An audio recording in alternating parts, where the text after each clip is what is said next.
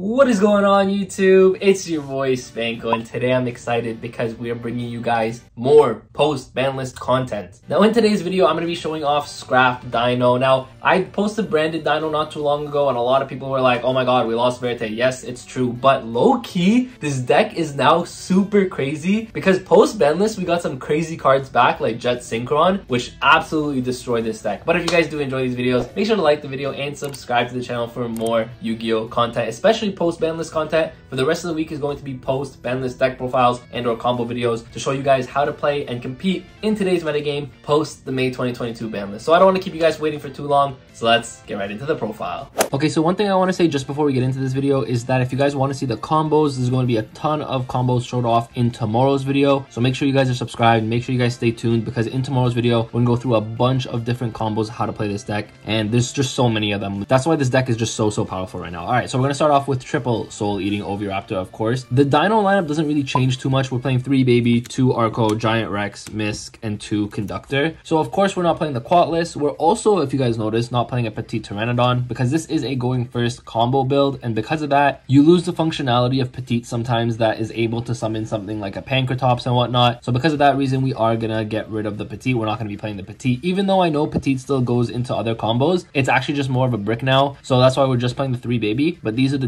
dinos, and I think this is all you need for the dino monsters. And then for the dino spells, we're of course playing double, double evolution pill as well as triple fossil dig. I'm not going to change up this lineup. I think this lineup for this deck is perfect. Again, the Petite is good, don't get me wrong, but this is all you need to combo. Keep in mind that Ovi Baby is combo, Misk Baby is combo, Arco Baby is combo. There's so many different hands that you guys can open that just gives you essentially full combo. So that's why you really just want to play the main necessary ones. And Giant Rex is the only, I guess, brick in the deck, but he's the one that extends your combo, so he is needed in that sense. Now for the engine that completely breaks this deck, we are playing, of course, three Scrap Raptor, one Chimera, one Golem, three Scrapyard. We're playing three Scrapyard. Before we get into the rest, I want to tell you guys why we're playing the Scrapyard, and it's really, really important. So first thing I want to say is that yes, we have Fossil Dig that searches your Scrap Raptor, right? But there are going to be a lot of hands. Keep in mind, a lot of these combos are one to two card combos, but of course, if you guys have more cards, then what ends up happening is you can just keep pushing further, and you guys are going to see that we're not playing any draw cards specifically in this deck. So the nice thing about Scrapyard is one, it can search your Scrap Raptor because if you open Scrapyard and Fossil Dig, for example, what ends up happening is now you're going to be guaranteed your Scrap Raptor, but you're also going to be guaranteed either a Baby Ceratosaurus for your combo, an Oviraptor, a Misk, something like that. So that's why Scrapyard is really, really good. It just gives you so much consistency and it makes it so that now if you open Fossil Dig, you don't have to think like, okay, do I go for the Scrap Raptor combo? Do I go for a basic Dino combo? This kind of gives you the opportunity and the option to be like, okay, I'm going to have both in my hand and it lets you deck them. Think about it. This is a not once per turn search. So even if you open two of them, you just two, search two Scrap Raptor. Now, yes, don't get me wrong. The second Scrap Raptor is not going to do much in your hand, but it deck thins, right? And that's the best part about it is because when it deck thins your deck, it means that in following turns, one, you'll already have the extra Scrap Raptor so you can continue playing. But two, you're not going to be drawing into this and you can potentially draw into something even better, something like a Conductor Tyranno, something like a Double Evolution Pill so that's why I really like the Scrapyard. I know we're playing pretty much nine copies of Raptor with this because three Fossil Dig, three Yard, and three Raptor, but it's just really the best way to go about it. Now, Golem is the one thing that I want to say is maybe, maybe you can cut, but I've been liking it because it does help you extend a little bit further.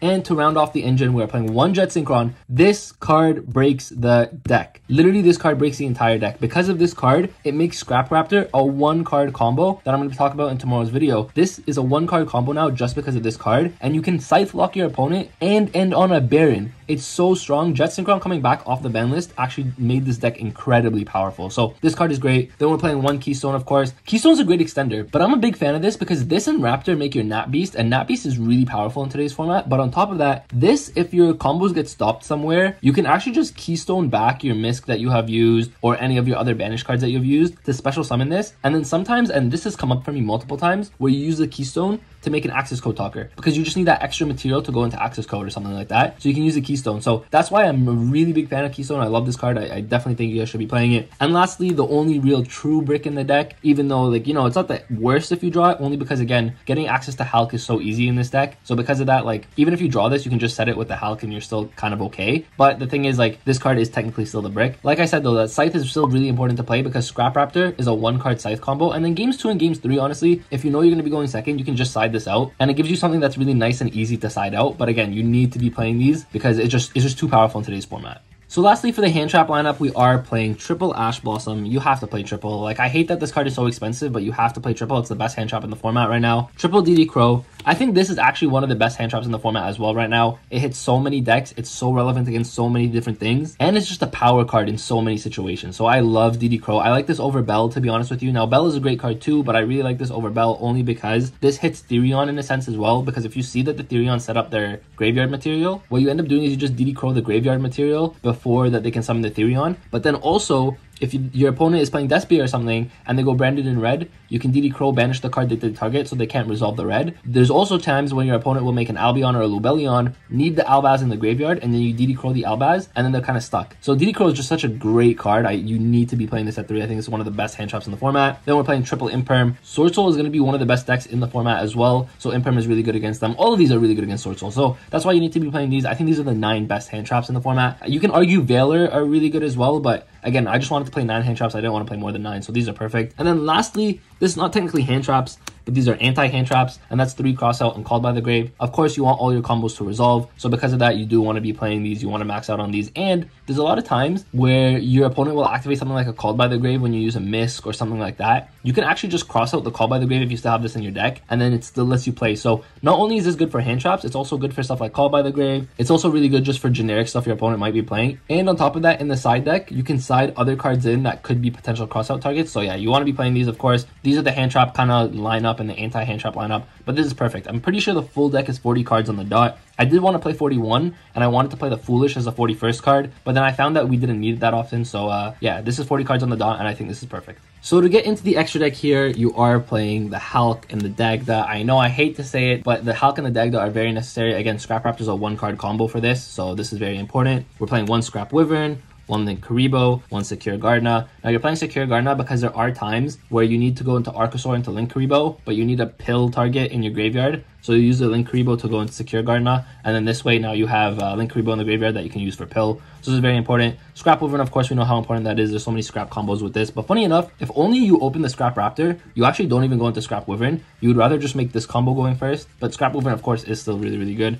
Helps you extend. Then you're playing one Pentestag, of course. This actually just helps you go for game sometimes. You can cut this really. It's not the most important card, but I've found that there's situations where Conductor alone with this is just game. So that's why I really like playing this card. We're playing one Access Code, one Apollo, and that's it for the Link monsters. Now the thing is, I wanted to cut, and potentially you can cut the Pentestag for an IP Masquerena because IP Masquerena is very valuable in today's format as well. But uh, I decided that the Pentestag was just perfectly fine as it is, so that's why I'm just playing the Pent. But if you guys wanted to play IP, you guys can play IP in this slot as well. So yeah, I just wanted to give you guys another option. Then for the Synchros, we're playing one TG Wonder Magician. This is a card that makes the Hulk combo live. This card's insane. It also makes it so that your Scythe dodges Imperm because when you summon the Scythe, and they activate Imperm, you can go TG Wonder Magician, which is a quick effect, to use it and the Scythe to go into Baron. And then what ends up happening is now your opponent missed the target because there's no more Scythe target. So this is really, really powerful. And if your opponent goes Imperm on this, it's the same thing because you just quick effect, right? So this card is insanely powerful. Then you're playing one Borreload Savage Dragon. This is really important. One Nat Beast. You can make this in most of your combos. So this card is really great. One Dolka, one Logia, as well as one Gallant Granite. Now you guys might be looking at this extra deck and saying, Spanko, this is only 14 cards. Yes,